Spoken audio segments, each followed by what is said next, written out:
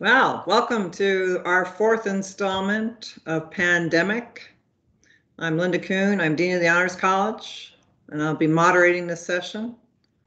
Very excited about pandemic focused on human animal transmission. And to lead our way today, I have two fantastic women vets. First, and who will be speaking first, is Dr. Lauren Thomas an alumna of the Honors College, hoot, hoot, who uh, graduated Phi Beta Kappa from the University of Arkansas and then went to the incredibly great land grant veterinary school at Oklahoma State University, where she got her doctorate of veterinary medicine. And Dr. Thomas is currently a faculty member in animal sciences in the wonderful Bumpers College here at the University of Arkansas. She's also a vet, but she teaches a whole series of really hip classes. In fact, I'm thinking I would like to take some of these comparative veterinary anatomy, companion animal nutrition, respiratory psychology, uh, physiology, and renal physiology, in addition to basic intros to animal science. And Dr. Thomas will be followed by Dr. Laura Rothfeldt. Unknown participant is now joining. Oh, okay. And Dr. Rothfeldt is a state public health veterinarian for the Arkansas Department of Health since 2018. And she also did her veterinary work at Oklahoma State University, which has a fine vet school. She spent time in the Army as a field veterinarian for the US Army.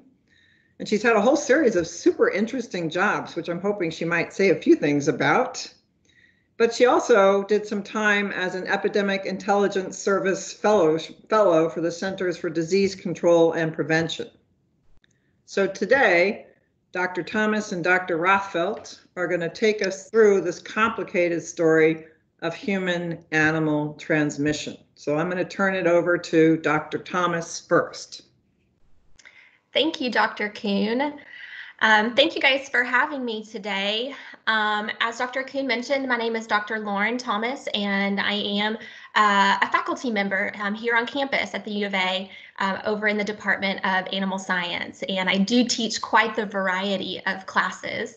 Um, and so my goal today really is to introduce you guys to zoonotic diseases. Um, this may be a novel concept to many of you, and certainly it is a, a hot topic right now. So when we talk about diseases that are potentially transmissible between animals and humans, the technical term for that um, is zoonotic. And so zoonotic diseases can be spread through uh, or from domesticated animals such as pets and livestock, um, to humans and then also through wildlife to humans. And clearly, right now, um, the big discussion with COVID 19 is the transmission from the potential transmission from wildlife uh, to humans. Now, my background as a veterinarian, before I came to the University of Arkansas, I actually was in clinical practice or private practice for veterinarians. So, a lot of my perspective that I'm going to bring to you today revolves around those diseases that are found within domesticated uh, animals, domesticated pets, and livestock. Just to give you kind of a broad overview, so that we're that we realize that the world of zoonotic diseases is bigger uh, than just COVID-19. And then I also want to introduce the concept of reverse zoonosis. And there's another big, fancy, hard to say say word uh, that describes that, uh, but we'll just leave it at reverse zoonosis. And so this would be the concept of an infection passing from a human back to an animal or a human to an animal. So the majority of the things that I'm going to talk about are animal to human transmission because that's the majority of what we deal with. But of course, with COVID-19, and as Dr. Rothfeldt um, is going to touch on in her portion of the um, the conversation is the fact that there is a little bit of concern now about COVID-19 uh, going from humans to animals.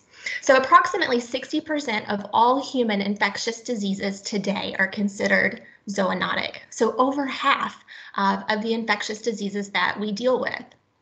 And then up to 75% of emerging human pathogens are considered zoonotic.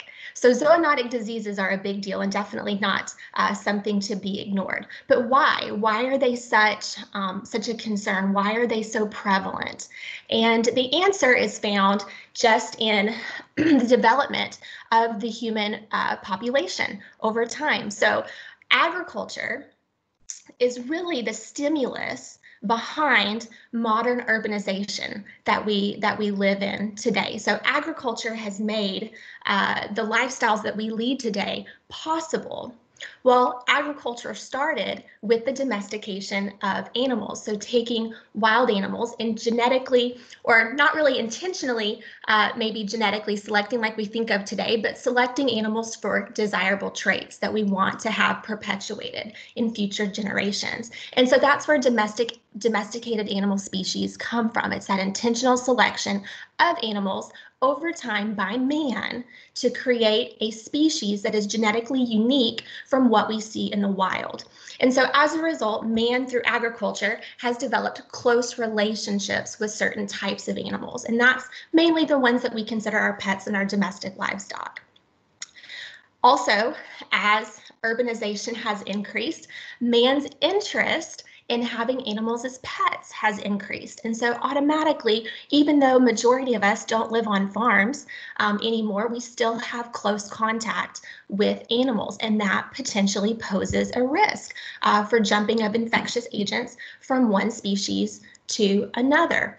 Also, man's adventurous nature uh, and just the global economy that we live in um, and the amount of travel that people do automatically predisposes us uh, to more interactions with potentially zoonotic pathogens. And then, of course, there's the increase uh, of man's influence on wildlife habitats. Um, so all of these things combined put us in closer contact with these different species that potentially can pass infections to us.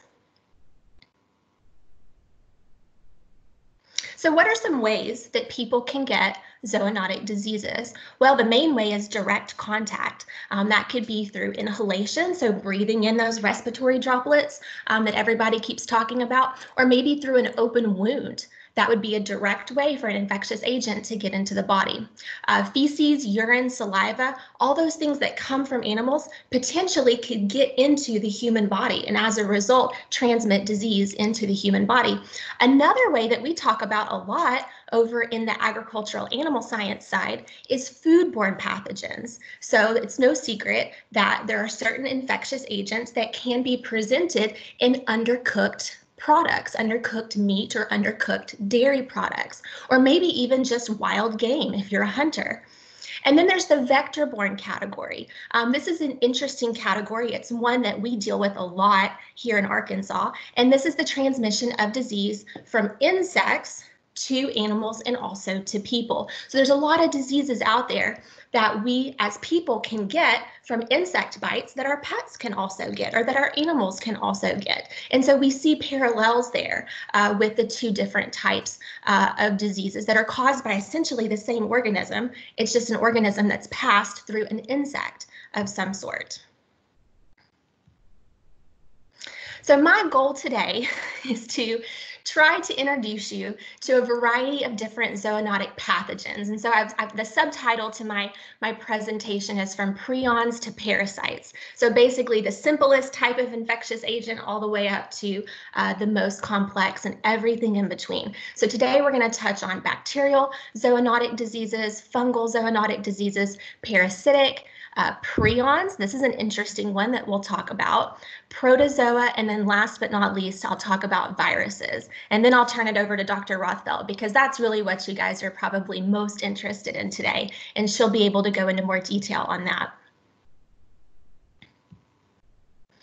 Now, everything that I'm going to talk about today is going to be pretty, pretty fast and furious. And so I don't expect, and my goal is certainly not to make you an expert um, at each of these diseases, but again, to just expose you or introduce you to the idea uh, that these diseases exist and potentially can affect both animals and humans. So if you want more information on what I talk about today, you can go to the Merck Veterinary Manual, which is available online for free. It's a great, very accurate accurate, uh, trustworthy resource if you're interested in learning about these pathogens from the veterinary standpoint. If you're interested in looking at it from the human standpoint, I would highly recommend the CDC website. Um, they have got a lot of good, thorough information there that is right at your fingertips. A couple of scientific literature articles, if you're uh, interested in looking at the literature reviews, I've got a, a couple that are posted there for you as well. Now, again, I'm going to present quite a few things in the next few minutes. And, and so I don't want you to get overwhelmed. I just want you to sit back and enjoy and just try to absorb uh, what you can. And then also realize that the things I talk about today are not an exhaustive list uh, by any stretch of the imagination. Um, it's just a few uh, diseases that I chose to highlight for each category. So there are other diseases out there other than the ones that I have listed here today that would be considered zoonotic. So the first category that we're going to look at is zoonotic bacteria. And salmonella is one that you've probably heard of before. So salmonella is a gram-negative rod bacteria that is considered a facultative an anaerobe, meaning it can function in both an oxygen environment and a non-oxygen environment. And typically it is passed from animal to animal or from animals to humans through fecal oral transmission. So somehow fecal material gets on a person's hands, maybe if they're out working with animals or if the animal uh, defecates and they have to clean it up off of a surface and then they fail to wash their hands. That's a classic way of getting it. But certainly animals can pass it to each other in the environment just through their excrement. And so this bacteria causes severe enteritis or inflammation of the intestine um, and can also lead to septicemia. So that's a blood infection that goes all throughout the body. Food producing animals are most often affected by salmonella. And in fact, some can be asymptomatic carriers. And so that poses a problem uh, for uh, workers uh, that work with these animals and then for the food industry as well. And so as a result, it is really important uh, to make sure that we take measures to prevent uh, these asymptomatic carriers and then also prevent the potential transmission of this bacteria through the products that will be consumed by humans. And so this would be eggs, meat, and maybe even dairy products. So undercooked meat, unpasteurized milk, um, and raw eggs can all be sources of salmonella that can come from animals originally, but then end up infecting people. In humans, we call salmonella infection, or we refer to it as typhoid fever. So you may have heard about it before in some of your other classes. Another example of a zoonotic bacteria is called leptospirosis. Um, and I put just leptospirosis species up there, just like I did with the salmonella, because there's a variety of different species of each of these categories. Um, and so we're just looking at them generally today. But leptospirosis is also a gram-negative organism. Um, it is technically considered a spirochete because if you look at it under the microscope, um, or it looks like a little spiral, and that's what that picture there um, on the right is showing you. It is an obligate aerobe, meaning it requires oxygen, and it is commonly shed in the urine and the milk of animals that are infected with it.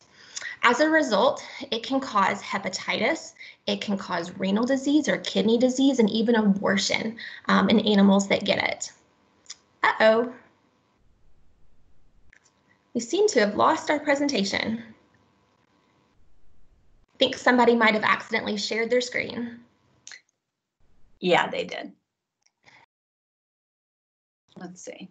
Should- Yeah. Yeah, yeah, go ahead with that.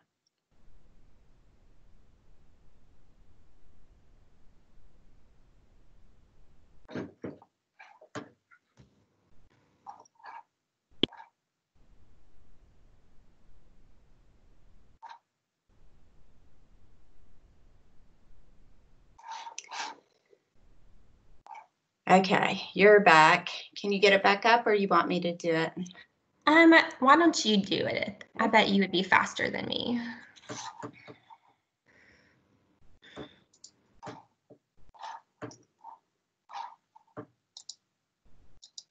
Ugh.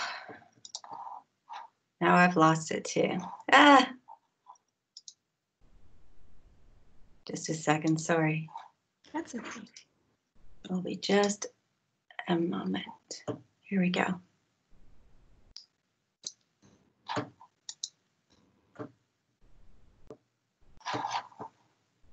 Yay.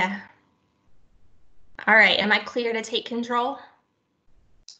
Absolutely. I think I'm pretty clear And if we could just off. remind everybody to be careful um, in the presentation. All right, let's see if we can get back. Okay, so I believe this is where we left off with. So talking about leptospirosis, um, it's common in tropical uh, regions and also provo- provides a seasonal threat in temperate climates. So where we live here in the United States, uh, we are classified as a temperate climate. So this time of year, right now, with all this rain and with it starting to warm up, this is the perfect time uh, for animals to contract leptospirosis. Uh, it's harbored in wildlife populations, so just about any small mammal uh, that you can imagine running through your yard um, or across your farm could potentially be carrying leptospirosis. And so there is a vaccine available uh, for this disease. Uh, a lot of uh, small animal vet clinics will offer this vaccine uh, for dogs specifically. And so it is highly recommended because if your dog were to get infected with leptospirosis, the organism could be shed in the dog's urine. And then when you go to clean up the accident, um, or maybe inadvertently come into contact with the dog's urine, you yourself could become infected and it could cause uh, hepatitis, renal disease, and other issues. Um, so, this is one that when I was in practice, um, I would commonly recommend uh, vaccination for. I should also back up and say there is also a salmonella vaccine out there. So, for animals that are in high risk situations, uh, maybe production type situations, uh, that would be a vaccine that producers would consider. Um, another side note um, on salmonella, uh, I mentioned poultry products. Um, as a common source uh, of the, the bacteria. And my friends love to remind me not to kiss my chickens. So I do have backyard chickens uh, here at my house um, that are basically pets, uh, but they do lay eggs.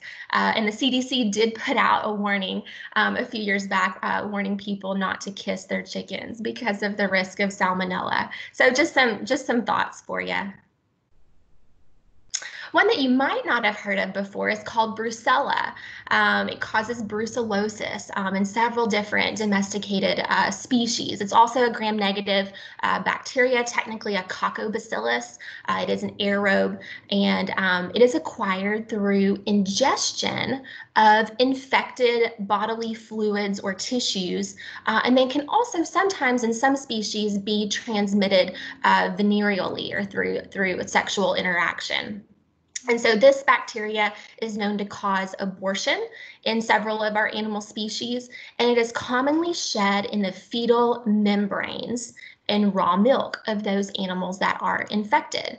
And so one interesting thing about ruminants, this would be cattle and sheep and goats uh, that you might not be aware of, but it is normal for those animals to actually eat their placentas. So after they have a baby, uh, the placenta will be passed onto the ground and the animal will actually eat it because in order to uh, help clean up any scent uh, that might be left behind that a predator might be attracted to, uh, they eat it um, Um, so that it's not there anymore.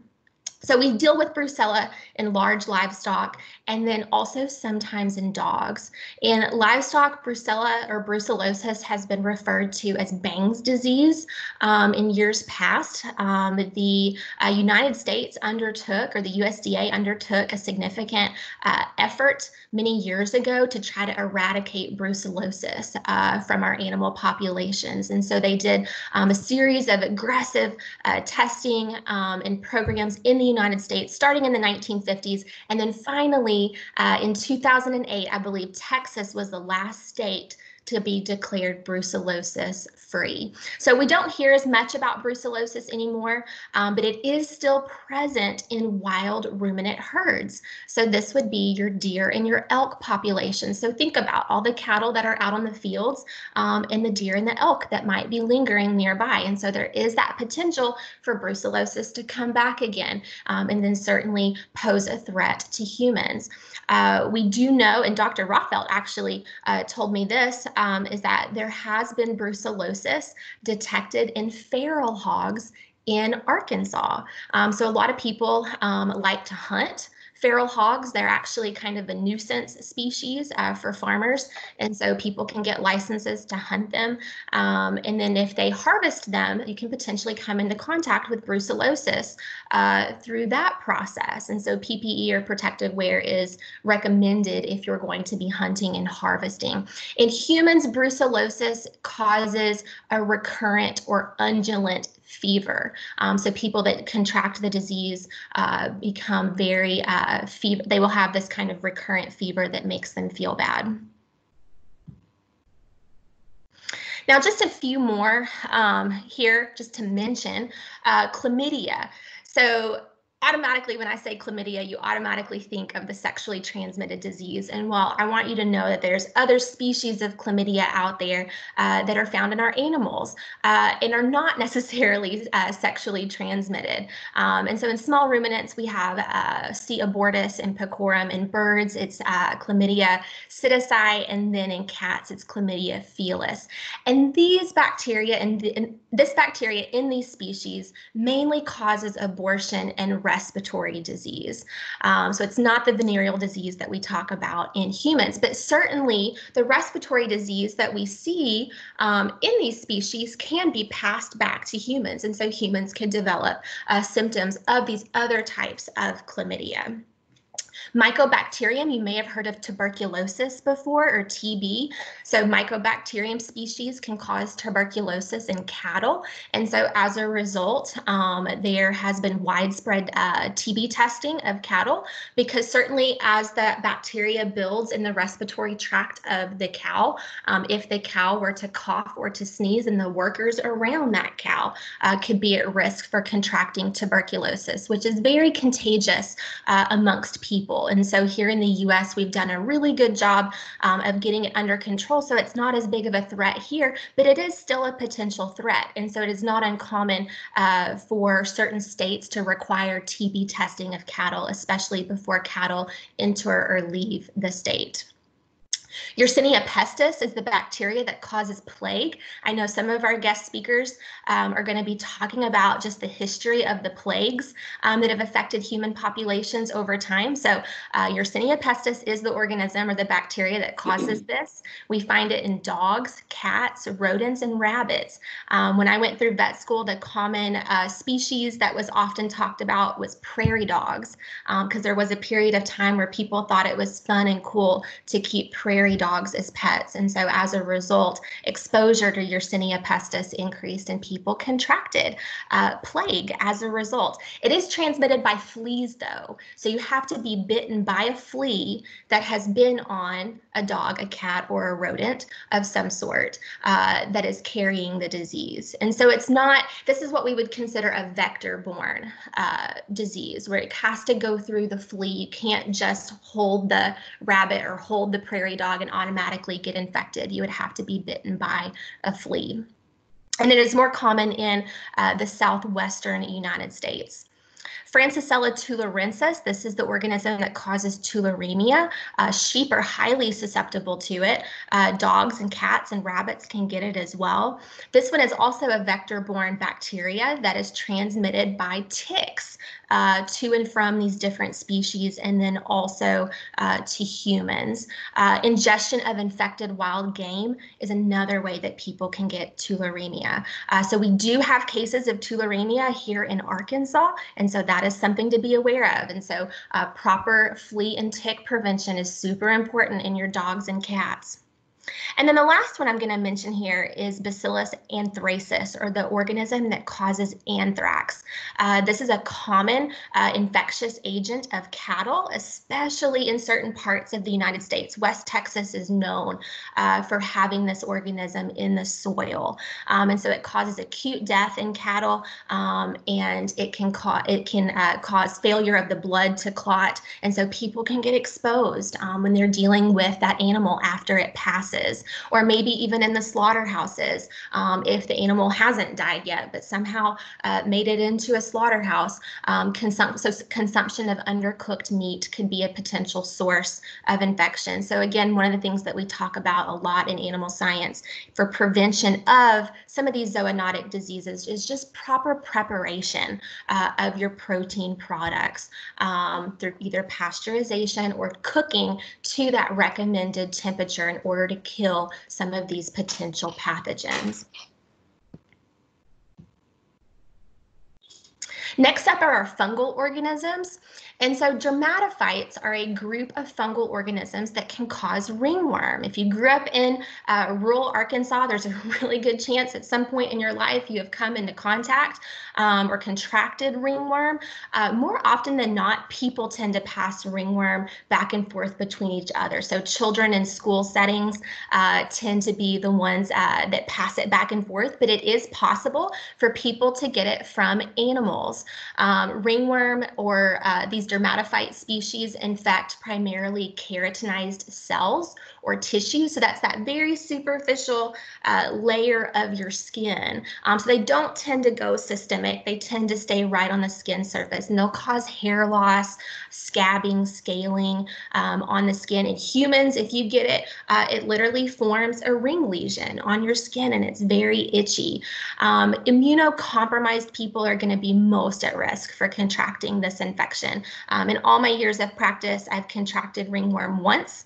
And um, I know I've been exposed to it multiple, multiple times, but I've only actually gotten a lesion uh, one time. And I do think uh, that having some type of abrasion on your skin um, can predispose you to picking up the organism. So the spores are in the environment.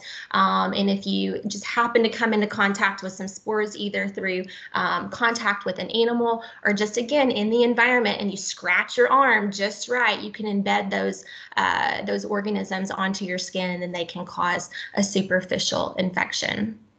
Some other ones that maybe you've heard of before um, that are worth mentioning um, are blastomycosis, histoplasmosis, and cryptococcosis. These are common companion animal uh, fungal infections that can cause really severe uh, upper respiratory lesions, so in the sinus cavity, um, and then also pneumonia down in the lungs.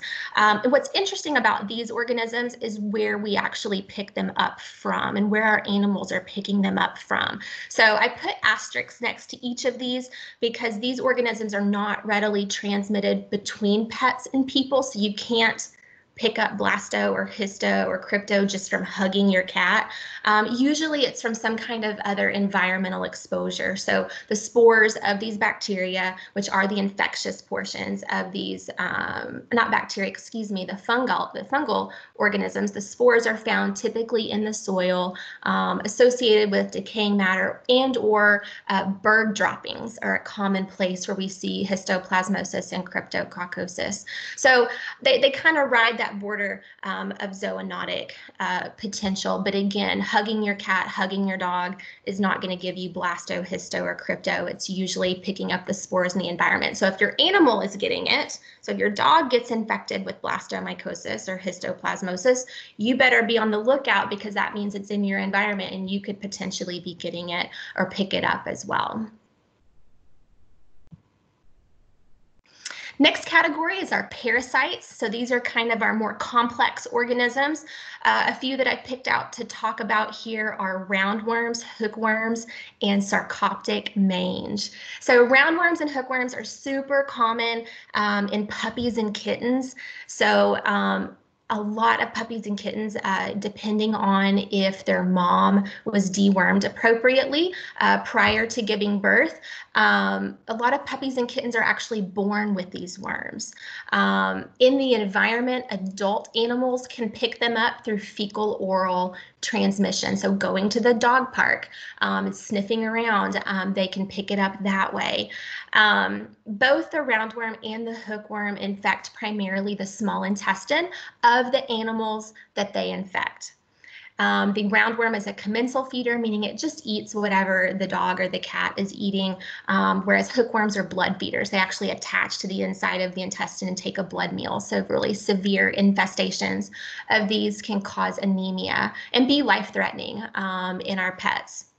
But in humans, um, these worms do weird things because these worms are species specific. They technically want to live in the dog or they want to live in the cat. They don't really want to live in the human, but they can end up in the human inadvertently. And it's usually small children uh, that are most at risk, again, through that fecal oral transmission. So playing out in the yard, coming into contact somehow with some fecal material, and then coming into the house, maybe eating a snack and not washing their hands. Uh, and so putting their hands to their mouth. That is the most common uh, form of transmission of these parasites to humans. But again, remember, they don't really want to be in the human. And so when they get in the human, they get confused and they don't know what to do. So instead of infecting the small intestine, they will migrate through the abdomen or they will get up into the eye and migrate um, inside the eye. And so we call that the, abdom the abdominal version, the visceral larval migrans, the baby worms are migrating, uh, causing lesions in the body, and then ocular larval migrans.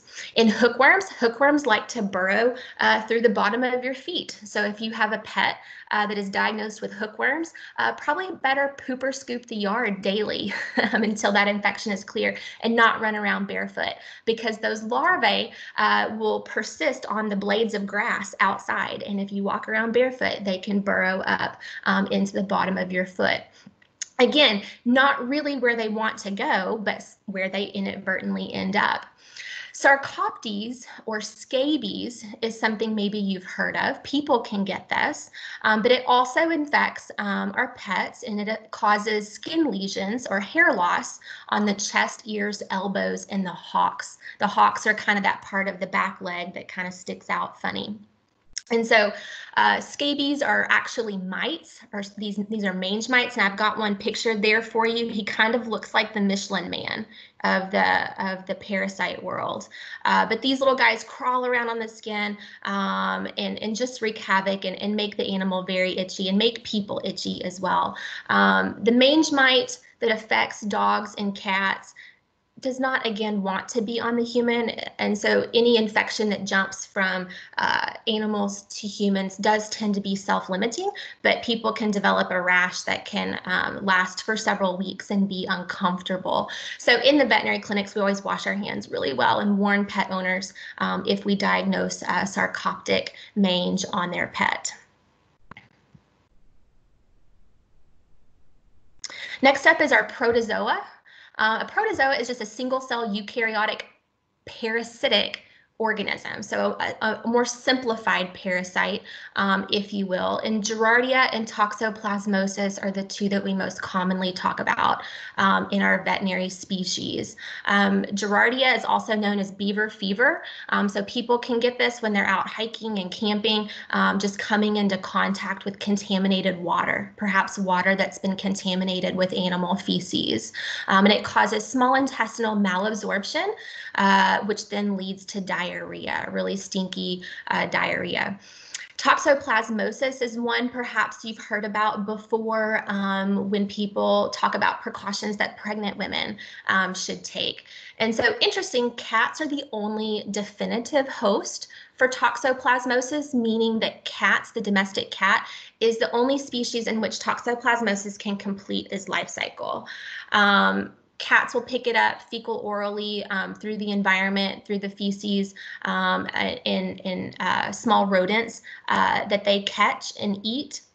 And so as a result, people can come into contact uh, with it through cat feces um, and contaminated water and contaminated soil. And so that's why they tell pregnant women not to not to clean cat litter boxes um, if at all possible while they're pregnant or to take precautions while they're pregnant um, because it's toxoplasmosis exposure is not uncommon um, in the environment. If you like to plant gardens and dig in the soil, chances are you've come into contact with toxoplasmosis. But what is interesting about it and, and what puts uh, uh, pregnant women most at risk is their unborn fetus. And so the, the consequences of, of contracting toxoplasmosis for the first time while you're pregnant can have devastating effects um, on, the, on the unborn fetus. And so oftentimes uh, we tell pregnant women, you don't have to get rid of your cat, just take precautions because there's no way to really know if you've been exposed or not already. And so you just don't want to take a chance for your unborn child and get exposed uh, while you're pregnant. Next up, we have the prions. And, you know, I wanted to throw these in because there's so much about prions that we don't know. And so first off, a prion, what is it? It's a misfolded protein that has the ability to influence the form and function of normal proteins, thus leading to neurodegenerative disorder and disease. So we heard about prion disease uh, back in the back in the 90s uh, significantly with mad cow disease, aka bovine spongiform encephalopathy. Um, and what was discovered about uh, mad cow disease um, through a lot of work that was done um, over in the UK, because that's where the majority of the diseases have been, um, is that animals were getting it through the consumption of animal based protein in the feed. And so um, a lot of changes have been made to minimize animal protein in uh, ruminant feed. So, not feeding uh, cow protein back to cows um, is one way that we can prevent or try to prevent this disease. But the truth is, we don't know. We don't really know what causes these proteins to misfold, but we do know that there's a close interaction that occurs when a misfolded protein comes into close contact with normal proteins um, and can trigger this kind of cascade of events that can cause these proteins to start misfolding. Um, so bovine spongiform encephalopathy or mad cow disease is specific to cows. Um, so we don't have any proof that it moves from cows to humans, uh, but we are we do have concerns that perhaps the consumption of tissues that are infected uh, with misfolded prions could somehow start the misfolding of proteins within the human body. In the uh, cervid populations, the wild deer and the wild elk, we do see a similar disease known as chronic wasting disease or CWD.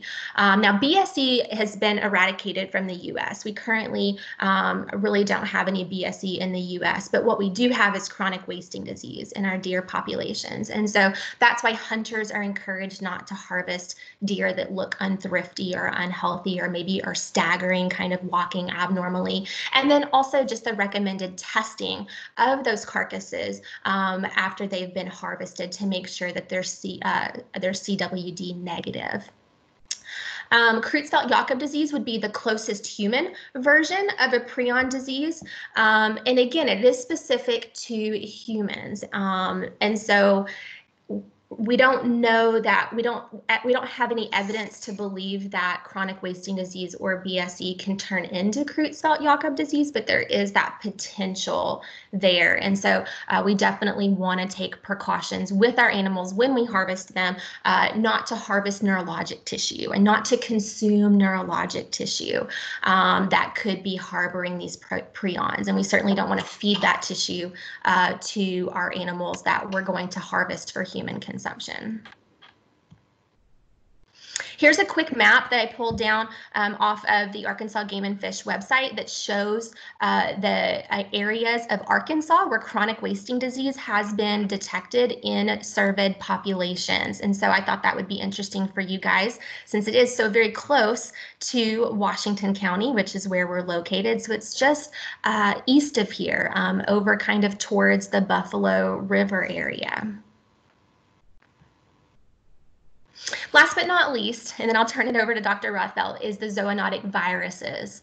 Um, so what is a virus? It's a very small infectious agent uh, that contains genetic material contained within a protein capsule uh, that can only replicate inside of a host cell. So viruses have to have a host cell that they can infect and hijack that cell's uh, machinery in order to reproduce themselves.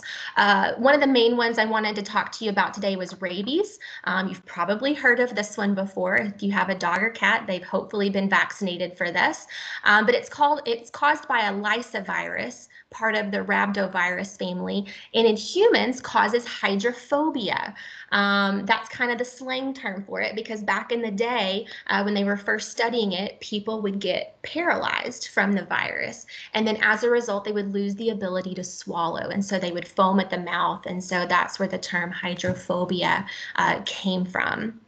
But rabies is an enveloped single-stranded RNA virus. Um, it causes acute progressive uh, swelling of the brain in mammals, um, and it is fatal once clinical signs appear. So the first clinical signs of rabies are going to be changes in behavior um, that lead to uh, paralysis of some part or parts of the body, and then rapidly progress to death. So usually over the course um, of about a week, you will see this progression occur. The way that rabies is transmitted between animals and then also from animals to humans is through bite wounds. So being bitten uh, by a rabid animal, that contact, that saliva uh, in through the bite wound is where that infection occurs. Uh, there are vector species and reservoir species. So basically any mammal can be a uh, vector species. So any animal can, can, any mammal can contract rabies. Um, and then if they bite another animal, they can pass that infection along. But there are certain species of animals in the wild that serve as reservoirs that just seem to harbor the infection. And the animals that serve as reservoirs do vary depending on what part of the United States you're in. Here in Arkansas, bats and skunks are the primary reservoir animals for rabies. So general rule of thumb, if a bat flies in your house, you probably need to really be extra careful um, if you're going to try to catch it and get it out of your house. That's the most common way that people get bitten. Um, and a lot of times people don't even realize when they get bitten by a bat. And so it's extra tragic um, when they contract rabies in that way, because oftentimes by the time it's diagnosed, uh, it's already too far progressed for them to pursue any kind of treatment to save the person's life. Another uh, good rule of thumb is skunks are nocturnal. So if you see a skunk that is out in the middle of the day, is there's a good chance that skunk is not in his right mind, um, and that very well could be a rabid skunk. And so you want to be extra cautious. Um, I also wanted to take a moment and mention that rabies vaccination for your pets is required by state law. This is the only vaccination in our, our companion animal species that is required by state law, regardless of whether you live in the city or out in the country. If you live in a state then you are required to have your animal vaccinated for rabies because of the potential transmission to humans um, and the deadly consequences of such transmission.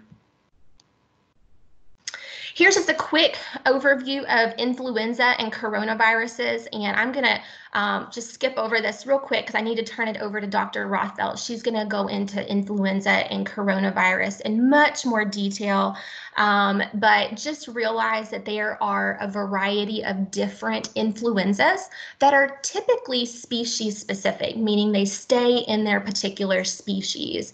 Uh, but there are times when mutations occur in the RNA of the virus that cause it to become infectious in other species. And so that's where we see these, these issues with uh, epidemics and pandemics. Um, coronavirus can do the same thing. Historically, coronavirus uh, has, has been a pretty common virus in our companion animals um, and in some of our livestock, uh, livestock species, but it typically has not caused clinical uh, disease uh, that would be considered significant. Um, and so some of you that have pets may have seen, you know, at the feed store, you can buy um, a distemper parvo vaccine that also contains coronavirus uh, for your puppy. But that coronavirus is similar to the coronavirus we're talking about today, but it's different. Um, and, and, most people don't even vaccinate for coronavirus in dogs uh, anymore um, because it just, puppies seem to get it, they get exposed to it and they get over it, and it's not that big of a deal. Uh, kittens also are exposed to coronaviruses when they're young. It's very, very common, but they get over it very quickly. Um, and so, again, these self limiting species specific viruses are not con- generally considered zoonotic, but of course, that conversation uh, is changing with the development of these novel human variants, and that would be the SARS, the MERS, and the COVID uh, 19 that we're going to talk about more today. And then the last thing I wanted to mention was just the herpes viruses and the feline immunodeficiency viruses. So these viruses sound zoonotic, but usually 99.9% of the time, they're not. Um, and so I never want to say never in biology. Biological life sciences, uh, you know, mutations can happen at any point, and so anything is possible. Uh, but what is common and not common? Well, herpes viruses do not commonly uh, cross over into humans. So there are a variety of different herpes viruses that are species specific that affect dogs and cats and horses and even chickens. Uh, but generally speaking, these viruses do not lend themselves themselves to mutation uh, as easily as maybe some of the other virus families. And part of that could be because herpes virus is a DNA virus. Um, so a lot of the other viruses that are considered zoonotic are RNA viruses. And so RNA viruses are much more likely to mutate um, at a higher rate uh, than DNA viruses. The rare exception here would be in primates. There has been documentation of a herpes virus in a primate uh, crossing over um, into a human. And then feline immunodeficiency virus. Um, this one is one that is very similar to the AIDS virus um, in humans or the, the human immunodeficiency virus. So we, we literally call it feline AIDS.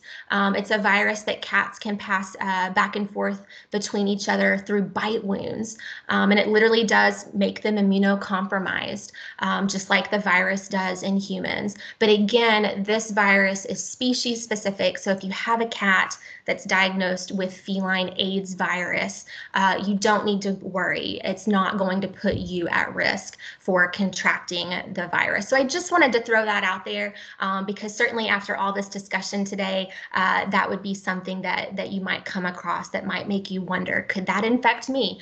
Um, and, the, and the truth is with these viruses in our domesticated species, um, the likelihood of that happening is, is almost non-existent at this point. So with that, I will turn it over to Dr. Rothfeldt.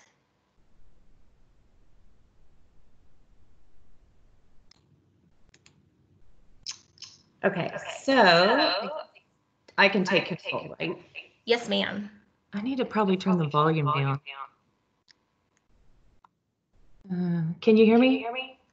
Yes. Okay, wait. How does it, how- sorry, how do you do this so there's no feedback? Oh, maybe because you're, you're not muted yet. Okay, hang on. Take control. Okay, there we go. So, um, good morning, everyone. I just wanted to take a moment to thank Dr. Thomas and, and Dean Coon and Dr. Uh, Hancox for allowing me the opportunity to um, participate in this. I've actually listened to the previous presentations and I thought they were all fantastic and I've been learning a lot myself. Um, I, uh, it's been quite a while since I've been uh, uh, in the academics. I, I've been in um, multiple careers that I'll kind of discuss here in just a minute. Um, and so I've been more on the in the field side of things. And so um, presenting to an academic uh, forum was quite daunting to me. So I, um, you know, I'm going to cover some real practical stuff that we look at from a health department standpoint, but I also tried to throw in a little bit of science in there. So I probably also have um, too many slides for this, so uh, but you guys are going to get the slide set at the end, so you'll have all the references. Um, I really like this quote in the upper right that talks about humanity has but three great enemies: fever, famine, and war. And of these, by far the greatest is and the most terrible is fever. Um, and and the reason that I like that is because I do come from a military background. Um, and you know, we talked about disease non-battle injuries, which means non-battle, so they were non-combat. And um, in the in the wars, if you look at the wars through the times, um, there were quite a few more casualties by diseases all the way up until World War One or World War Two was actually the the first war where there was more um, combat casualties than there were diseases, and that has to do with the advances of medicine and science and um, the the production of antibiotics and and and you know trauma care and things like that. And so you know, but we still are fighting, and you know, there's been allusions to this uh, pandemic is as fighting a war, and it's you know. Um, it's kind of like fighting the invisible enemy. Um, so I kind of wanted, since I've been out of academics for a while, I wanted to give you um, a little bit of a picture of who I am and and how, you know why I might be qualified to discuss some of these topics. Um, so I also was an Oklahoma, Oklahoma State graduate, and I did private practice in Oklahoma in large animal practice for a few years. And then after 9/11, um, I joined the Army. And so, and then I was an Army veterinarian for many years and, and retired, and then came to the state as the state public health veterinarian. And I just kind of wanted to show you a little bit of my life because um, it it has shaped my background and, and why I feel like, you know, um, this is my passion and, and this is why I do what I do every day. So um, during my time um, in the Army, you know, our focus was on military working dog care. So the bomb and the drug dogs, those were our, our primary um, uh, beneficiaries of the Army veterinarians. And then also, um, you know, we did some humanitarian work in other countries. Um, and I did a lot of food inspection, which I see that I left the food inspection uh, picture off of here. But yes, so we did a lot of sanitary control of uh, food manufacturing because, you know, as Dr. Thomas mentioned, um, you know, foodborne diseases, you know, can have serious consequences. And so what you don't want is to have you know a whole army of people who are sick with diarrhea and vomiting because then they can't function for their you know their role for their mission. And so our job was also to ensure that there was a safe and wholesome food supply and water supply for um, for all military members. And then also in the middle i wanted to to mention that um, so as an Army veterinarian. I got assigned to the CDC or the Centers for Disease Control and Prevention, um, and then I got assigned to the Arkansas Department of Health. So I was here for a couple years. And during that time was the largest Ebola outbreak in West Africa, the first Ebola outbreak in West Africa. And it ended up being the largest outbreak as far as the numbers of casualties and deaths. Um, but there, so the picture in the middle uh, to the left is a picture of survivors that I worked with. And um, you know, and they had all experienced Ebola, and then they were now working in, in, caring for babies that had been exposed because they were felt, you know, we felt that they might be a little bit more immune potentially to a secondary case of Ebola. So they were safer to nurse these babies back to health um, than somebody who might not have been exposed. And in the middle is my team of contact tracers. And so you guys may have heard about um, what we're doing here in Arkansas is when we detect that there's a case of COVID 19 we have people that have to go out and determine if that case, um, the person who tested positive was exposed, you know, exposed to other people. And so those are called contacts. And so we have contact tracers. And in the middle, um, the very middle of these photos are a picture of all the contact tracers that were um, tracking down contacts of Ebola cases there in Sierra Leone. Um, and as you can see, I'm getting my picture or my temperature taken by one of those um, uh, thermo point and, and, detect the temperature there. Um, and so we had border crossings where we had our temperature taken. So that's happening here in Arkansas, not necessarily at the borders, but in certain, like if you walk into the health department, we have to have our temperature taken. Um, and we have to have symptoms, you know, they ask us about our symptoms because they want to make sure that we're not, you know, um, going somewhere without uh, proper, you know, protection, wearing a mask and stuff if we have, you know, the disease. Um, and so I just briefly wanted to mention that uh, the One Health concept, which is what Dr. Thomas uh, was talking about with zoonotic diseases. And um, we do have a One Health group in Arkansas that I'm actually the chair for that. Um, we're trying to get it uh, back up and running, but it's it's comprised of uh, veterinarians in the government sector. So we actually have a University of Arkansas Extension veterinarian. We have um, the wildlife, the game and fish veterinarian. We have the state veterinarian at the Department of Agriculture. We have myself. We have USDA. Uh, we have veterinary services from USDA, wildlife services. All of us are a part of this group. Um, but and the reason being is that you know the, the, there's a proof of concept that that the One Health we have to share um, an environment with these animals and with um, you know all of the environment that's out there and it's all interrelated. And so we can't just take care of human health and think that we can prevent you know diseases if we just take care of the humans. We have to take care of the animals. We have to take care of the climate and the environment. And that's where um, this uh, one health concept comes from and this is just another diagram I thought was really great because it showed it all from production and slaughterhouses. So we talk about the food component of things. We talk about companion animals. We talk about the chickens. There's the poultry industry, and then there's the backyard poultry industry that Dr. Thomas mentioned as well. And so um, I think that's you know an up and coming area that lots of people want to have those, but there's also those risks. You know, I had a veterinarian friend who had her chicken. She named her Brandy, and she had her inside, and she actually bought diapers for her. So you know, there's all kinds of interactions um, with animals that we don't even think about, but yet could have huge impact on our health if we don't do some preparation and um, be proactive at um, trying to prevent the crossover of disease. So I sent this paper out and I thought it was really good because um, it talks about, um, you know, the, the um, properties of how diseases cross over from animals to humans. And, and what was mentioned previously was that the RNA viruses, and, you know, the difference is that DNA viruses have the double-stranded DNA, which is very stable, RNA is a, you know, and all these RNA viruses have a single strand of RNA and it's very unstable. And so it mutates quite frequently. And so that's why that, um, you know, they, they did a study and determined that 94% of zoonotic viruses were RNA viruses.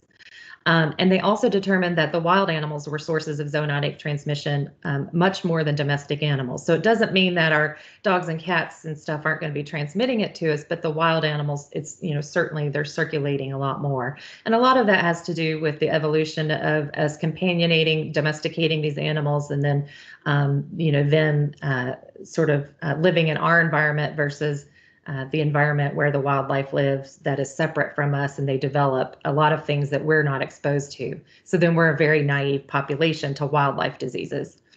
Um, and the and the mention the vector-borne pathogens because here in Arkansas we have a huge tick-borne uh, disease burden, and um, which is a vector-borne disease, and so you know they have definitely a broader host range. What they can do, what vectors can do, is they can take um, one disease and and pick it up in one species of animal and then you know via their transport mechanism whether that's flying as a mosquito or the tick falls off and then gets picked up by a different animal um, that's how they transmit it. So those animals don't have to come in direct contact with each other.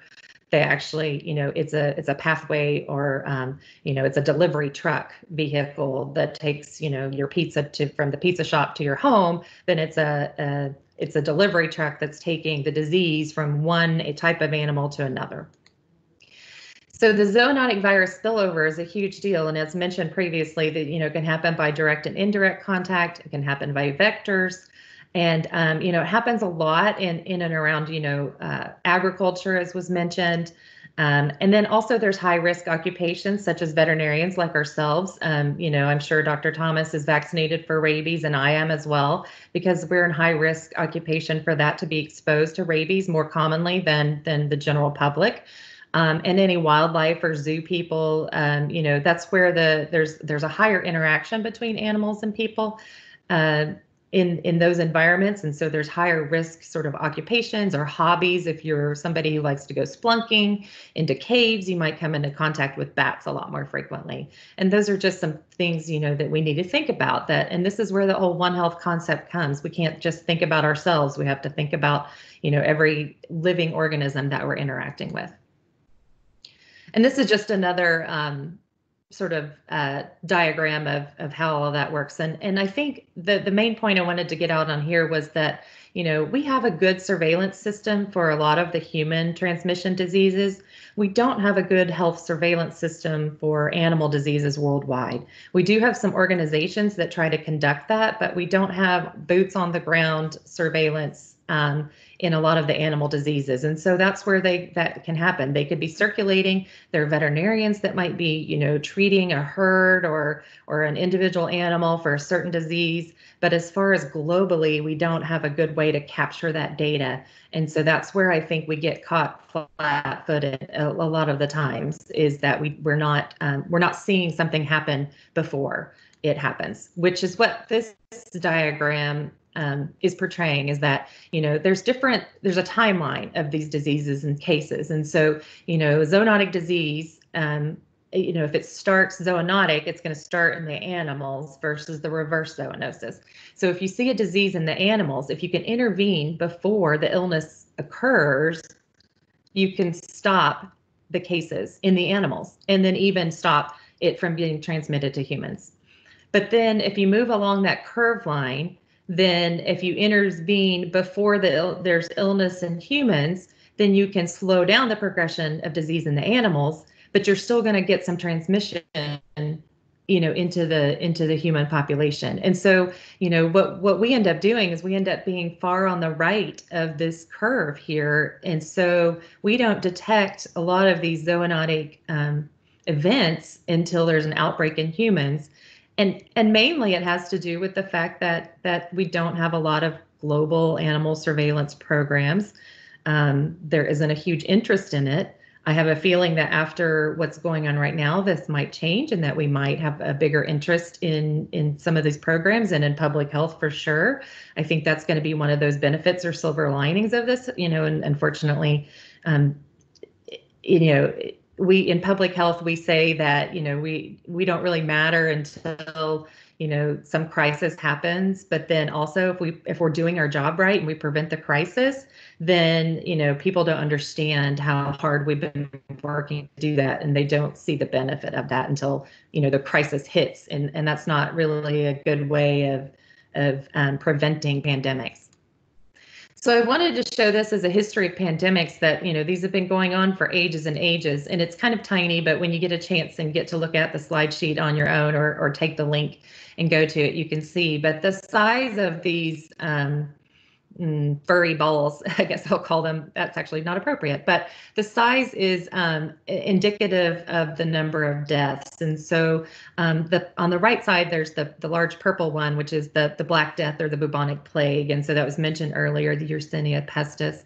Down on the bottom um, to the right is uh, where COVID-19 is currently, and it is um, ahead of SARS and MERS already and swine flu, which is the 2009 H1N1 um, outbreak that we had. And so, where this is going to go, I can't tell you. This is changing on a daily basis. Um, and so, you know, that may move forward. Um, unfortunately, it will. I don't know if it will surpass the next one in line or not, but um, you know, the numbers are, are, we're right in the middle of this, and uh, I don't see an end to it anytime soon.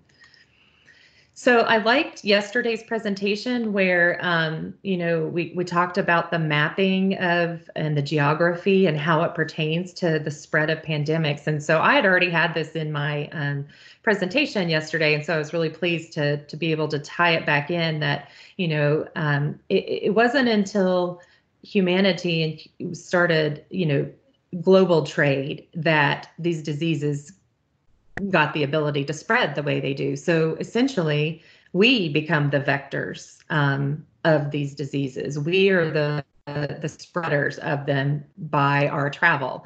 And that's exactly what happened with COVID 19 because we saw where it started and we saw where it spread. And you can, there are maps out there that you can see that where it starts from the very beginning. And, you know, they put little dots on there as it spreads across the, um, across the world. Um, and there's actually a game called um, Plague Inc. I think is the name of it. I'm not plugging it necessarily, but my kids have played it. And in this kind of basically, you create your own pandemic, and you can choose your um, choose your your uh, symptoms and how it acts and where it starts, and and then you you basically become Doctor Evil and and send your plague across the world, and it, and it's really true to life. And um, and now it's almost creepy thinking about how they played it and it actually really did happen in real life um, so so much that, it just seems like somebody potentially created this, which I'm not saying they did, but um, it's it's just kind of crazy. You can see how it just travels from one country to the next. And this is just showing you that the urbanization and spread of disease, you know, as, as we grow. And we've seen this happen because what we've seen is that here in Arkansas, our numbers have stayed low. And we're assuming that a lot of that has to do with our social distancing, which is just natural, not just the fact that we're telling everybody to stay apart, but the fact that we are quite rural and that people aren't crammed together like they are in New York City. You know, and unfortunately, um, I, I've been to New York City and I love this city, but it is just, um, it it has the perfect environment for a spread of a respiratory disease you know, with the people crammed in there. And there and there are quite a few cities like that all over this world. And um, and and unfortunately, um, they are going to have to take a lot more uh, stricter actions to prevent it because of their close proximity to each other. Um, and so that's just the unfortunate truth of of urbanization that was discussed previously. Is that the closer we get to each other, the closer we get to animals, the the higher the risk is of transmission between the two um, for you know for diseases. And so, you know, they've compared this a lot to the flu, and and it's it's like comparing apples and oranges to each other. Um, and also, you can't really compare it to the general flu every year because we are in the middle. We just got started. We don't know when it's going to end. So you can't really compare the numbers of cases and the numbers of deaths because also at the beginning of an outbreak, um, what you see and what you count are the most severe cases. And so what you don't see are those less severe cases, the ones that don't go to the hospital or don't go see their doctor. They sit at home. They may continue going to work sick, or they may be asymptomatic, like we've discussed now with COVID 19, where they're not even ill, but they're still spreading the disease. So it's really hard to look at, at uh, fatality rates in that because what we don't know is we can't take, we don't know the denominator. We might know we don't even know the numerator. So, um, you know, we're just taking a stab at it. So I, I, caution you to use the the numbers and the statistics that are out there and to look at them, um, you know, with a, a grain of salt that that, you know, these are all estimates and, and especially in the middle of an outbreak, everything is an estimate. We really don't know how this is going to pan out at the end. Um, but you know and that's the thing too is the difficulty with preparing for a pandemic is we don't know which of these viruses will emerge until they do. And like i said you know if we had better ways to detect them in the animals before the people then we could slow that curve. But unfortunately we're still a very reactive society. So a lot of the past pandemics were influenzas. Um, and and you know and so that's the one that we've all that we've been preparing for. That's the platform that we've used is the influenza virus. And also the reason is because the influenza virus itself is a highly uh, mutative virus. It'll it'll mutate very frequently. Um, and that's why we get different shots every year is because they have to develop new vaccines uh, to adapt to how the virus mutates. It mutates in the middle of a season. And there's so many different um, types of them that I'll show you on another slide that, you know, it, it's hard to know which one is it going to be that's going to mutate into the more highly virulent one, the one that crosses over from animals to humans. You know, that's also a guessing game. And so, uh, but we do know that there are quite a few um, avian influenzas and some other zoonotic influenzas from uh, specifically pigs that have, you know, been transmitted from those species, and like Dr. Uh, Thomas mentioned earlier, they're very highly species specific until they mutate and they get to this point where they can cross over. And unfortunately, what we think is that um, pigs are very capable of allowing for the influenza viruses to reassort um, from different species into a new strain. So a pig that is exposed to a bird that has a bird flu, but then is also exposed to a human with a human influenza, then that virus, those viruses may get into the cells and then they do a reassortment and then that leads to antigenic you know drift and shift and that changes um, how they react. And so sometimes it might make them less virulent. It might make them so that you know it, it might be a bad mutation and it, it turns them into something that doesn't work in any species but then it also might go the opposite and it, and, and it changes them so that they become much more dangerous and then they can also infect other species. And so that's the concern that we have with the intermingling of, of species and the intermingling of these flu viruses. And this is just a table of, of the past four influenza pandemics. Um, certainly, the 1918 Spanish flu is what a lot of people are, are talking about these days, but it shows you, and I think in a previous discussion, they talked about the R naught, which is the estimated reproductive number, and you can see in the middle column. Um, so for 1918 Spanish flu or H1N1, it was um, the R naught was like varied from 1.2 to 3.0. So um, the uh, you know, and so right now what we're looking at for the R naught of COVID is is probably around that range, a little bit higher, is what we're estimating currently. You know, the Asian there was the Asian flu and then the Hong Kong flu. Now they named those from the location of where they um, where they originated. You know, but now we um, you know it's not it's not politically correct necessarily to be naming those flus that way and and a lot of it has to do with our, our previous discussion um, you know, talking about uh, the culture and how um, the stigma of, of that can be um, devastating. And so, what we don't want to do is to isolate a certain population and and blame it all on that population. And so, I agree. But you know, in in history, in medical history, those are the names that they've given to those flus.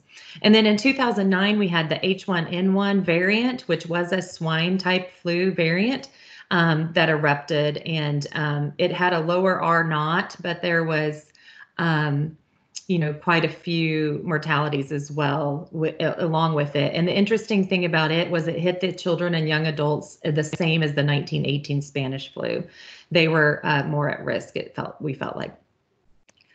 So this slide I probably should have put before that because we were talking about the H1s and the N1s and the you know H5s and N7s and things like that. And so um, briefly, the the influenza there's three types. There's the A, B, and C.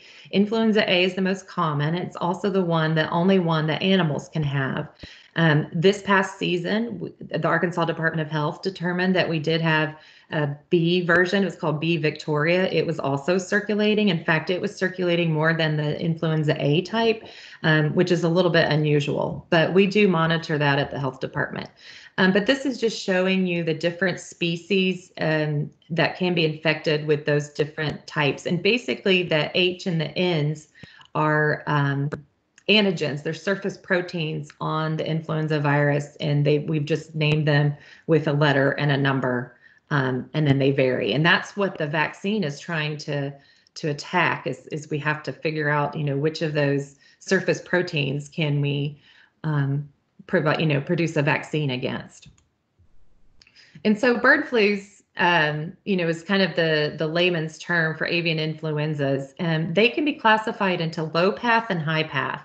And basically, what that means is that a low path avian influenza is where um, it goes undetected because a lot of them are asymptomatic and it's very, um, you know, very mild illness. But sometimes low path can mutate to become a high path. And that's where we have huge morbidity and mortality. And so you may have, um, like here, we, we have poultry uh, farms where we have barns with, you know, several thousand birds and um, you know so they may lose the whole barn the whole barn may die. Um, and that and that's how serious it can get the high path strain can get. And the problem is is that high path strain can then mutate and and infect humans as it has. And, and it's been proven to show that we've had human infections with these high path avian influenza strains. And that's where our concern about the pandemic comes from with avian influenzas and so the OIE, which is the World Organization for Animal Health, it's kind of like the counterpart to the WHO on the human side. They have a website where you can go track real real time what outbreaks are currently going on. And I bring this up because if you can see over in the left side on the map, we have a high path avian influenza outbreak currently in North Carolina. And it was in turkeys. And that's going on um, right now. And I mean, I don't know. I'm sure they've contained it, but unfortunately, um, you know, it is there, and there's the concern. Well, what you know, the concern now is, well, we have this high path avian influenza in this area where there's also COVID cases. So, you know, number one, if somebody goes in sick, is it going to be influenza or is it going to be COVID? Well, a lot of the practices for medically managing that patient don't change between the two, but it's important to know because they have a little bit of different transmission uh, properties. A little bit, you know, we we believe that the SARS virus that's causing COVID 19 is more infectious. Um, it causes a different disease pattern. You know, there may be different, there may be, you know, a little bit different nuances. And then, um, but also, could we have uh, uh, an influenza outbreak in addition to COVID, which would greatly strain the public health resources? Um, and so that's kind of frightening. And, you know, so the big deal about this is that, you know, when they have a high path avian influenza outbreak, there's, um, you know, a lot of depopulation has to go on because there's no way to control it in these flocks. There's absolutely no way other than to cull these animals. And so, you know, it can be quite um, stressful on the businesses that own them, on the people that have to work with them, um, on trade you know international trade and the economy of the country because then they have to notify the OIE um, and then you know they may be banned from exporting their product and things like that. So it has very serious consequences, and it's being you know at least that is one of the diseases that is being globally surveilled um, right now a lot better than any of the others. And so the um, you know in the face of all of these pandemic influenzas, uh, you know, the, the, U.S. and the and the World Health Organization have developed, you know, pandemic preparedness platforms, and uh, because you know they say they, the viruses respect no borders, especially with the global trade now, um, and that everybody must work together, you know, the rich and the poor, and that you know everybody must have access to this, and a lot of this also has to do with food security, and so not just food safety or human health safety, but food security, um, as in these animals that may be affected, are also um, a source of protein for you know um, population for their diet, and so it's very important to conserve that. Um, as you know, there are a lot of food insecure areas in this world.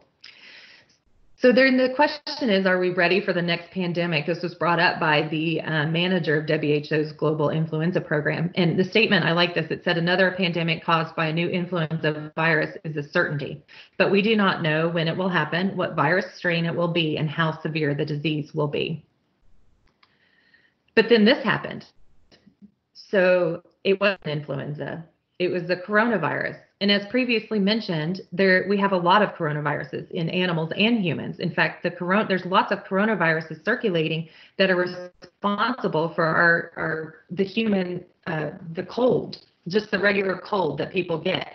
And so, um, but it, the difference is that the coronaviruses that have um, mutated recently. And so, you know, we're going to talk a little bit about SARS-CoV, which was the original for, you know, SARS-CoV-1 now and then Middle East Respiratory Syndrome or MERS-CoV um, was another outbreak. And then now we have the SARS-CoV-2 named because it's very similar to the virus that caused SARS-CoV-1, more similar than it is to the virus that causes uh, MERS-CoV, which actually is still um, ongoing transmission in the Middle East. Um, and, and the reason they're named coronaviruses is because of that halo or crown-like corona appearance under the microscope. And so that helps you, you know, remember um, why they're named that. And so let's talk a little bit about SARS. So the first severe acute respiratory syndrome, uh, SARS-CoV, was uh, in 2003, and it really only went from 2003 to 2004. And um, you know, the case fatality rate they determined from it was 10 percent. So, and it was spread a lot through close contact and, and healthcare and household settings, which is exactly what's going on right now. Um, and it uh, was detected in bats with the intermediate host that they suspect was the palm civet or the raccoon dog, um, because in China they um, have a lot of live wild animal markets, or they call them wet markets, and so they um, they serve a lot of wildlife, and um, and that's a great mixing melting pot petri dish, if you want to call it, for for diseases. And so they tracked it back down. Now, um, it, they are just, you know, assuming based on the data and the epidemiology that this is probably what happened, but there still is no proof that this is what happened. Um, and and you know, it was responsible for for 8,000 cases and 774 deaths in 25 countries. And if you think about those numbers, you know, I mean, uh, Mississippi is at those numbers right now is a state, and this was the worldwide cases, and it was a huge deal. Um, many of you were probably quite young then, but you know uh, the others have been around, and, and we remember that this was a really big and scary event. And if you look at those numbers and compare them to today's numbers, they're nothing. And so, um, you know, I, it, it, just reminds us that we should not take for granted that this is um, what we're experiencing right now is unprecedented. And then there's Middle East Respiratory Syndrome or MERS-CoV. And the numbers there, if you look at those, the numbers of lab confirmed cases are much lower, but they did have a higher death rate. So their case fatality rate for MERS-CoV is 35%, which is higher. But what they felt like is that this disease is much less transmissible. So they would, you know, I don't, I don't have the R naught um, right in front of me, but the R naught for this disease is would be lower than the R naught for the current SARS and the previous SARS. Um, but the case fatality rates are much lower. But like I said, you have to take those, you know, those case fatality rates are only based on what we know. And so if there were quite a few more MERS um, mild diseases or asymptomatic diseases, that would make that case fatality rate go down if we were to know that information, but we don't at this point. They also think that they've detected it in bats, but they found it in um, these one humped camels or dromedary camels, which are quite common in the Middle East. They use them for meat and fiber and milk, and um, they even drink the urine. And so, for you know, it has special medicinal properties, and so they have a lot of direct contact with camels. Um, and like I said, there are still cases ongoing in 2020. It's just much less. Um, lower transmission rate than the regular SARS and so we don't we didn't see it spread. We did see it spread. South Korea had their own little outbreak of it and we did have cases that entered the united states but what we didn't see is it going from person to person. And so i like this quote that's uh, that was from um, dr Osterholm at the university of minnesota. And um, you know he's talking about that the real danger is when they start spreading between people and trigger a pandemic. And he says we're now at the second level of concern he says because mers is not just a dangerous virus in animals but is spilling over to the human population again and again the third level could happen tomorrow. And it did. And so this is where we're at. And this was pulled from this morning where we have um, worldwide almost four and a half million cases and close to 300,000 global deaths. And so if you compare those numbers to the previous SARS and the MERS outbreaks, they certainly are and have well surpassed them. And they are approaching the influenza numbers. And like I said, we're right in the middle of this still. So we don't know where this is going to go yet. And then I just wanted to point out that the Department of Health has a website where you can get all of the Arkansas specific information. And then so we have our own map here. If you haven't seen it yet, it, it has counties and um, you can, in the live version on the web, you can hover over the counties and it'll give you the numbers of cases um, and things there. But it shows you that we've had over 4,000 cases with only 97 deaths here. And I say that, you know, not being disrespectful to those those those deaths, but to say that our numbers are remaining quite low in comparison to the rest of the United States and the rest of the world. So I think that right now we are doing well, and I hope that we can continue to stay on this path. So how do you compare these viruses together? Well, the the Wuhan, or as it's labeled here, this was um, first. This was reported from January 22nd. So the numbers don't, you know, look at those numbers of the COVID there because they're quite different now.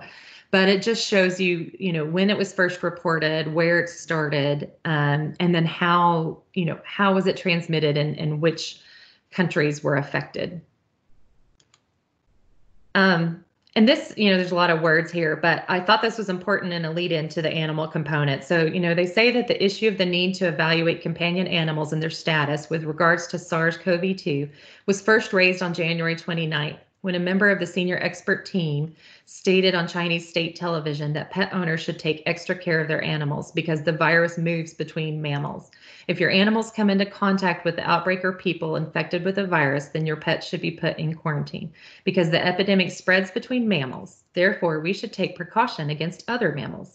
So there was no scientific data to present it that would support that statement. But nonetheless, it prompted a severe public response that resulted in many pet dogs and cats being killed and thousands being abandoned. So there's been lots of reports, and um, they're heartbreaking of what happened with the animals in China. Um, and, and a lot of it had to do with the fact of the unknown. And so, you know, that's where I think it's really important in public health that we discover we we state what is not known and and we don't make subjective comments about things and so it- it's not there's nothing there's nothing wrong with saying we don't know at this point you know we just need to use caution but we shouldn't you know make statements if we don't have scientific data to back it up. And so then what happened later a month later was they had a dog that tested weak positive for this. What they didn't know was was it environmental contamination because the dog lived with um, you know a, a person that you know maybe was shedding it. And so those are a lot of the questions that we're still trying to discover in animals is is what what is actually going on? Are they becoming infected? Are they mounting immune responses? Or are they just you know is it just environmental contamination of the virus which can happen? Because that's how viruses work. They could be living on something but not actually infecting the cells. And so you know it's all dependent on how their machinery operates and so now I pulled this from today because it actually had changed um, in the la- in this last week, and these are the animals that have been reported to the OIE. So the um, which is uh, it started with the two dogs in China, and then we had a cat in Belgium, and then you guys probably heard about the tiger and lion in the Bronx Zoo, um, and then we had two cats in New York City, and then recently we've had two mink farms in the Netherlands with another um, couple of cats in France, Spain, and Germany. And so this this is changing daily because one of these was just reported yesterday. So here's the so I don't have a lot of information to provide on you know or proof to provide what is going on here, but this is just a, a snapshot of the beginning. I feel like. Um, and so right now, it you know the assumption is that these animals are being infected by their humans, so this would be reverse zoonosis. The epidemiology is not telling us that animals are are uh, infecting us back because certainly in the United States we have so many pets and we have a lot of people that have been sick and what we're not seeing is a lot of infection going back from the animals to people. And this came out from the Dutch Human Vet Group after the mink. Um, you know that there's there's no evidence that companion animals play a significant role in spreading the, the disease. So there's no justification in taking measures against them which may compromise their welfare. And I think that's an important take-home message for this. Um, and that you know that zoonotic transmission can't be excluded, but that you know the impact on human health is negligible. And so here in the, um, you know, I talked about the OIE, which is the World Organization. So here in, um, in Arkansas, I am uh, will be taking over as president for the National Association of State Public Health Veterinarians this summer. Um, and so we, it's a group of all of us state public health veterinarians, as the name alludes. And then uh, we work with the CDC regularly, um, their One Health division, and we work with the USDA, the US FDA the National Assembly of State Animal Health Officials, which is the group that the state vets work with. And so the state vet is at the Agriculture Department. The state public health vet, which is myself, is at the health department. State vet works on animal diseases. The public health vet works on animal diseases that cross over into humans. So the zoonotic diseases, which is what I'm responsible for. And we have um, developed a testing algorithm for animals because, you know, we, just like in humans, you can't just test without a plan. You need to know what you're going to do with those test results.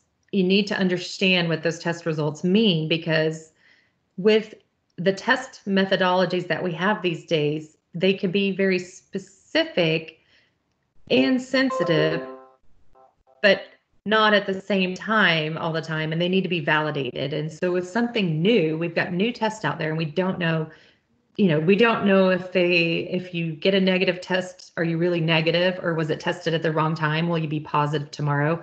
Um, were you positive last week and now the test is negative because you don't have the virus you know in your nasal cavity? Things like that so we've developed this testing algorithm that you have here. And in the sa- um, sake of time, I'm going to kind of skip over, you know, a lot of the testing because I wanted to get to um, a couple of these other items in the animals. So in the US or yeah, the USDA site will list um, the animals that we have tested in the United States. So this is different than what I showed you earlier, which was the OIE, the world cases. And you may have seen the the news, uh, the video article about the pug that tested positive in North Carolina. Um, that was actually done in a research project where they were doing household studies. And so they were looking at homes where um, people had tested positive, and if they had pets, they were testing the pets.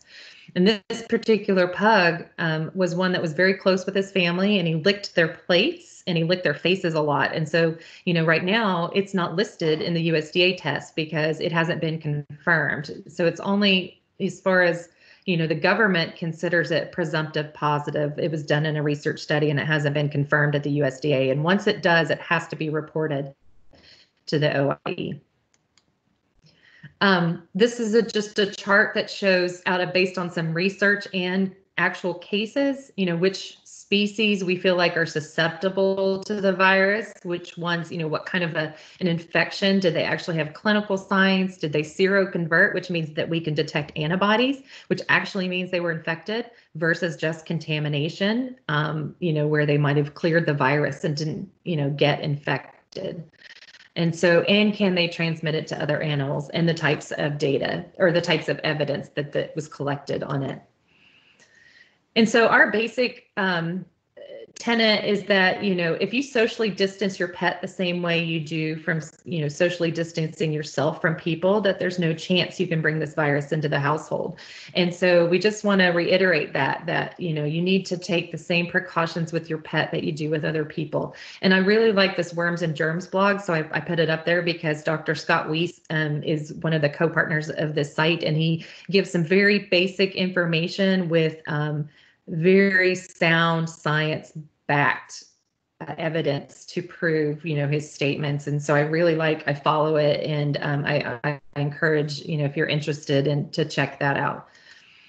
So our key messages about the role of animals in covid is that there's no evidence that animals play a significant role. And based on limited information the risk of animals spreading it to people is still low we're still learning about it, but it appears that it can be spread to animals in certain situations. And there are further studies needed to understand if and how they could be affected. And I'm I have a whole lot more slides on these studies, but I think in the interest of time, because we've come up against the time, you guys are going to be getting these slides and and and you can take a look at at those because I really delve into the um, the role that bats play in a lot of these diseases. And I hear that we are going to have a wildlife specialist specializing in bats. And so he can probably cover that more than I can because I'm certainly not a virologist and I'm not a an expert in um, in in wildlife. And so I I will just let you guys take a look at those slides and if um, we can talk more about that in our session with the small group next time. So um, That was with that, I fantastic. thank you. You guys really rocked it. Thank you. And um, um, wonderful information in the slides and so beautifully delivered. So I want to thank both Dr. Thomas and Dr. Rothfeldt for these stunning presentations.